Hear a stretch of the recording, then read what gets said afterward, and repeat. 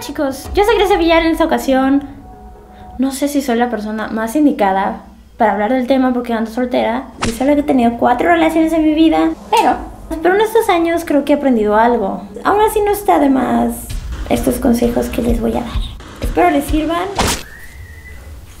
Eso, chillar. No sé. ¿Escucharon cómo gritan? Por eso me quiero mudar. ¡Cállense, maldito hocico! Estos son algunos consejos que me han dado y que he aprendido a la mala. De verdad me sirvieron. Que eh, cállate. Mágicamente me vuelvo popular y todos quieren hablar conmigo cuando estoy a punto de grabar. No es que yo sea experta, pero pues he aprendido un par de cosas que pues no está de más si andas soltero, pues para el futuro. Si es que no mueres virgen. Si estás en una relación, si vas a estar involucrado en una relación, antes de seguir con el video, les recuerdo que voy a estar en la Bamboo Fest Cuautla el 17 y 18 de febrero, en la Expo Taco Villahermosa, Tabasco el 17 y 18 de marzo, en la Star con León 31 de marzo y 1 de abril. Para más información y próximas fechas pueden visitar mi página de Facebook. Los links están en la descripción. ¡Sigamos! Después de hacer mi video sobre la soltería, mucha gente me ha estado consultando, consultando, consultando, consultando. Después de que hice mi video sobre la soltería, que les voy a dejar el link en la descripción, muchísimas personas se me acercaron, se me han acercado, aún hoy a la fecha, a pedirme consejos de amor. Y es gracioso porque hice ese video y lo dije explícitamente. No con estas palabras, pero dije así como, hago este video para no tener que seguir aconsejando y nada más decir todo lo que tenía que decir y pasar el link y ya. así que, empecemos. Consejo número uno, no creas nada. Maldita sea, no creas absolutamente nada. Nada es verdad, todo es permitido. Tenía que decirlo. Sino, básate en las acciones no, creas promesas. Creo que ustedes lo han aprendido muy bien conmigo porque yo soy de decir, ah, sí voy a hacer este video y sí lo termino haciendo. Años después. Y sí lo hago. Pero no me crean si digo, lo voy a subir en una hora, lo voy a subir en una semana o dos. Siguiente cosa. Tal vez este comentario vaya a sonar muy única y detergente, pero la Harley Quinn clásica sí me puedo identificar un poco con ella porque yo era así y conozco mucha gente así, es complejo de Harley Quinn, que tratas de ser una persona muy complaciente y decir sí a todo y sí. Que tu mundo se vuelve nada más esa persona y haces lo que sea por esa persona y te desvives, ¿no? Y eso lo notó mucho una tía de mi primer, mi primer, primer novio, del primer novio que tuve y me dijo un muy buen consejo. Me dijo, no seas tan buena. Qué bueno que quieras ser linda, pero nunca te pases de buena. Porque al principio es, ay, qué linda, ay, es bien amable y es bien chida. Con el pasar del tiempo se convierte en tu obligación ser así.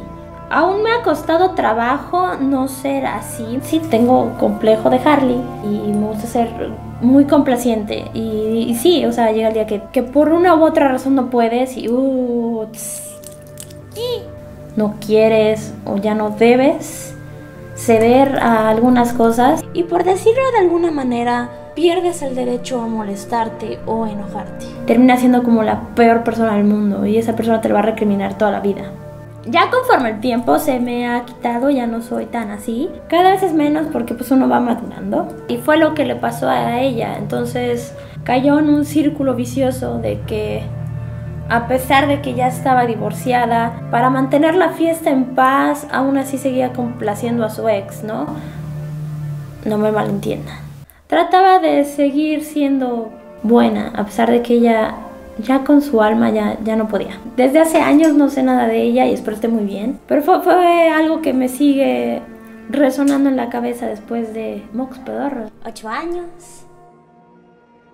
Este consejo también me lo dieron, ya lo había dicho en otro video es que a la hora de discutir los dos deben aprender a escucharse y de preferencia no hablar. Y podría sonar como un consejo de sí, te tienes que tragar las cosas, pero no. Cuando no se está discutiendo de algo realmente importante, que nada más es un coraje, una, una rabieta, En lo que el otro grita y se vuelve un lunático, tienes que respirar y, y calmarte y decir, a ver, ¿qué se le pasa al chamaco?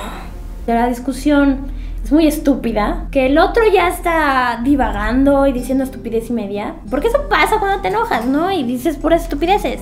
Generalmente cuando uno está empezando una discusión y el contrario está hablando, no lo estás escuchando, no lo estás pelando, estás pensando en qué le vas a contestar, qué le vas a decir para que le duela, y si dice algo que a ti no te gustó, ah, maldito, no lo voy a perdonar, de aquí me voy a agarrar para decirle y me acordé que el otro día me dijo, entonces vale gorro. Hay que aprender a escuchar y hay que aprender a guardar la calma hasta que el otro suelte ese flujo de energía de, que está muy enojado y está con la cabeza caliente y, y es algo pasajero y natural, ¿no? Y esto es muy, muy, muy, muy difícil. Más si eres como yo que me encanta estar discutiendo los que me siguen en mis otras redes se pueden dar cuenta que me encanta estar discutiendo con la gente y me encanta estar teniendo debates, mi deporte. Pero con la pareja y los seres queridos es diferente. Porque sí, cuando uno está con la cabeza caliente, neta dice muchas estupideces, porque me ha pasado. Soy una persona que de repente soy paciente, soy paciente y de repente ¡Pocos, perdí la paciencia! Este es otro consejo dentro del consejo. Si te echas agua fría, neta se ayuda a echarte agua fría y, y piensas con más claridad. Entonces sí, o sea, de repente te relajas, piensas las cosas, a algunos se les pasa rápido, a algunos se les pasa con días, no importa, o sea, y entonces dices, ah, ok, sí, sí, este, no era para tanto. Y cuando los dos estén tranquilos, ya se puede hablar del asunto, ¿no? Hay que aprender a discutir. Lo mejor es guardar la calma, escuchar al otro, aunque sean estupideces. Dejar que, libere todo ese flujo de energía. No darle el avionazo de sí, güey, sino así como decir, ok, sí, sí, sigue, sigue, sigue. Es importante tratar de saber qué, qué está tratando de decir y de, de dónde viene ese enojo, porque tiene una razón de ser. Y dialogar. Si ya no se resuelve con diálogo, tal vez con un holgan, así resuelven las cosas. Siguiente consejo. Las diferencias entre amor y enamoramiento. Porque el enamoramiento es este sentimiento desenfrenado y que es pasajero, no es eterno. Te puedes volver a reenamorar. El enamoramiento dura aproximadamente de 3 a 10 meses. Una vez igual alguien me dijo, es que el enamoramiento es una mentira, la misma palabra lo dice, enamoramiento. Está bonita la frase.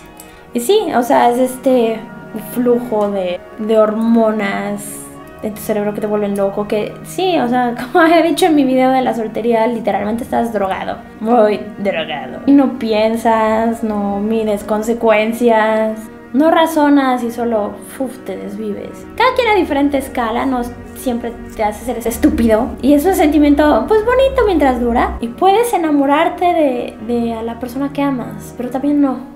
O sea, puedes estar enamorado y no ser un amor sincero. Es un poco difícil diferenciarlo, pero con el tiempo eh, lo notas. O sea, yo sí he estado enamorada de personas y sé que no las amo. Nada más es el, el hype. Yo siento que el enamoramiento es un poquito más egoísta porque tratas de complacerte tú con esa persona, por así decirlo. Aprensivo, y es cuando ¡Eh! Lo quieres nada más para ti y así.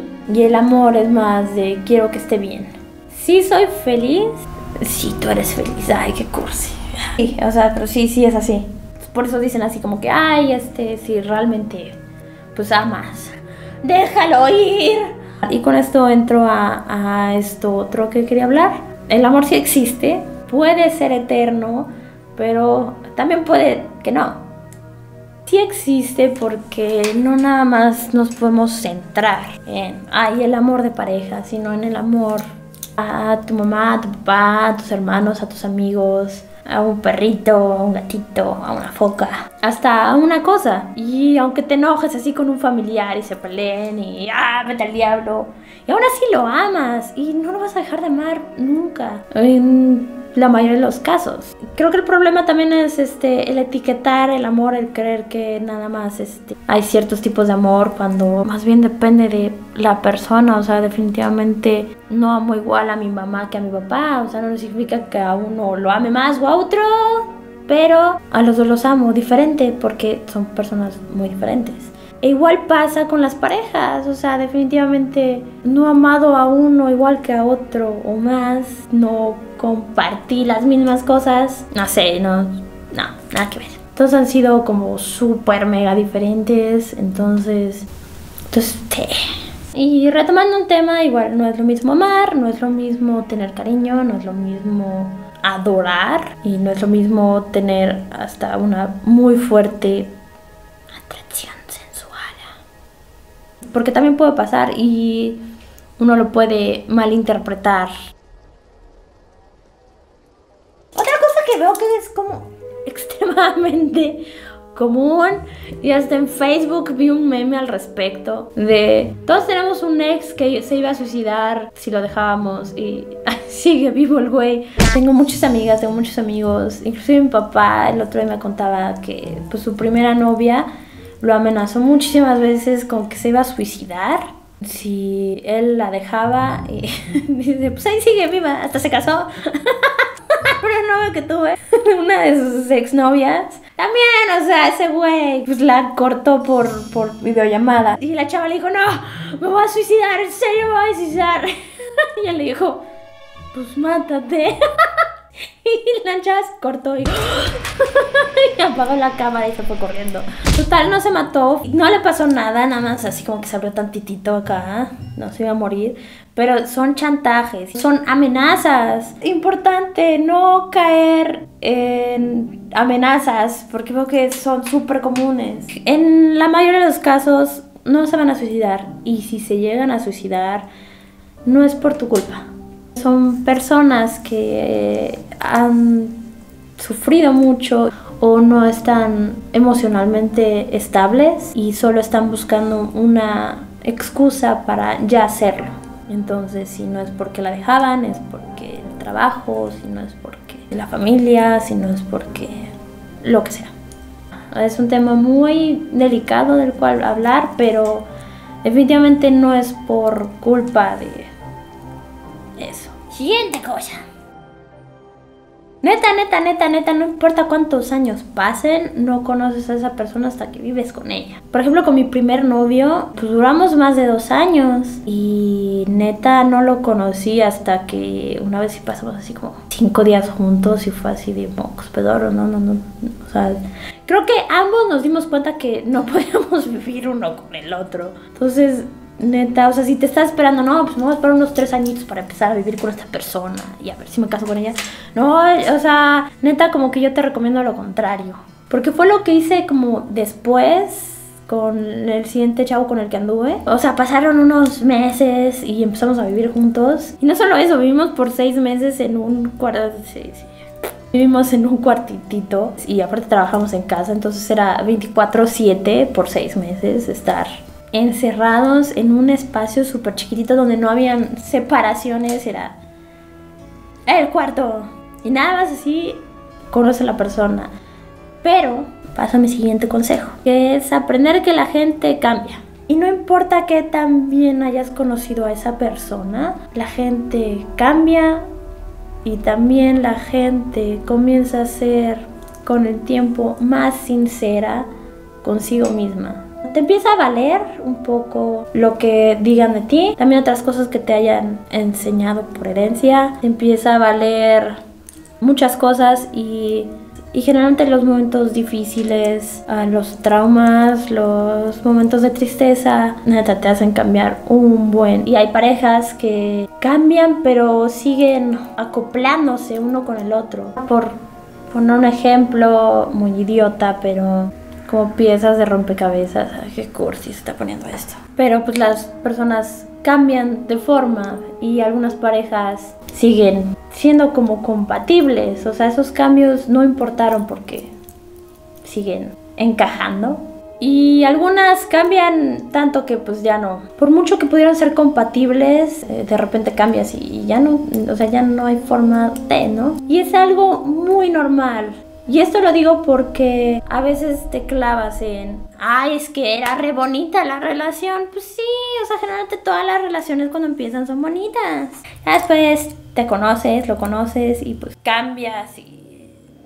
¿Ya para qué? Sí, lo que mencionaba igual en mi video de la soltería, de no, de decir, qué bonito fue, pero ya no es así. Y ya no va a ser así. Y está bien que ya no sea así, porque también está mal estancarse. Siguiente consejo. Y va un poquito junto con pegado. Si la relación ya no es, ya no funciona, ya no es linda, si ya el güey se quiere ir, déjalo que se vaya. Es mejor que esa persona se aleje lo más pronto de tu vida, en lo que tú pasas tu duelo, en lo que tú te reencuentras, porque a veces, a veces uno se, se pierde, ¿no? O sea, como que medio enfocas tu vida en estar con esa persona y de repente, uy, ya no está, ay, ¿en dónde me quedé? Ok, todos nos vamos a morir, entonces entre, entre menos tiempo desperdicies en tratar de recuperar algo que ya no es Mejor déjalo ir y enfócate a ti. Si la persona quiere recuperar las cosas, soy de la idea de puedes dar una oportunidad, pero tal vez una segunda, pero no una tercera, porque significa que no, no va a cambiar. Y sí, afortunadamente y desgraciadamente las personas cambiamos, pero los defectos que podía tener esa persona güey, milagrosamente podrían cambiar o podría contenerse un poco en ya no ser así y decir, mira, así cambié. Pero generalmente es su esencia y entonces uno debe estar consciente de que es otro consejo. Empezar a andar con alguien esperando que cambie. Es así de, no, no, a ver. Espérame tantito.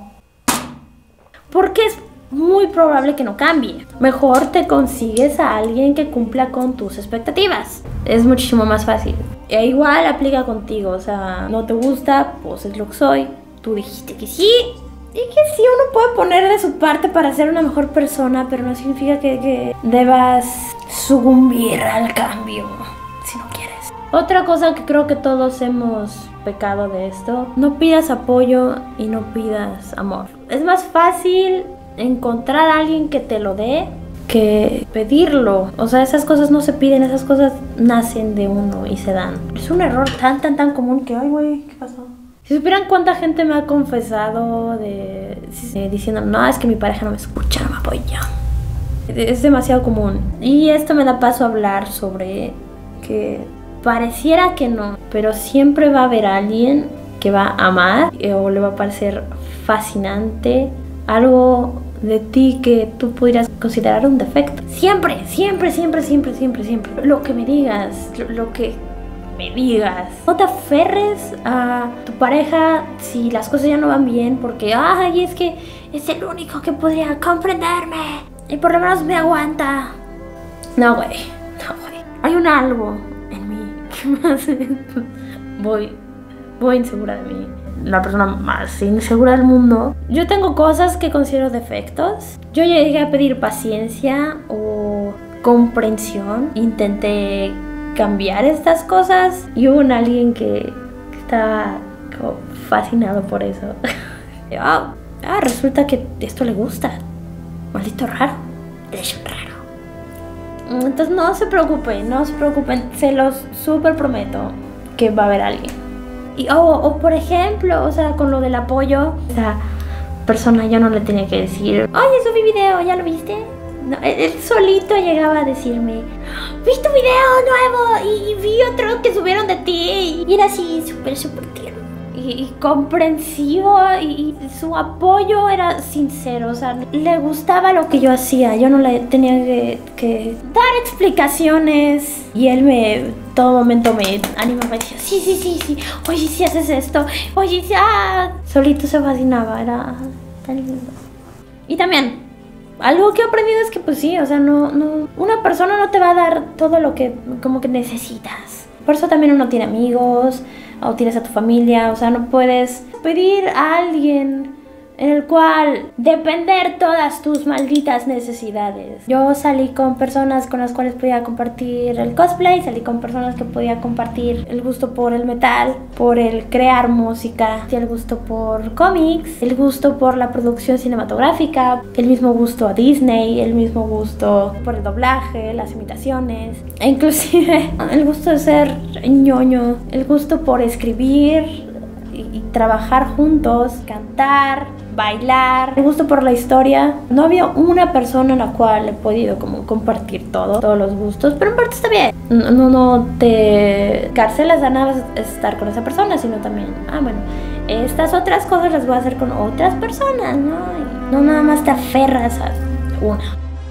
Creo que la va a hacer segunda parte, porque ya me tardé. Todavía faltan cosas.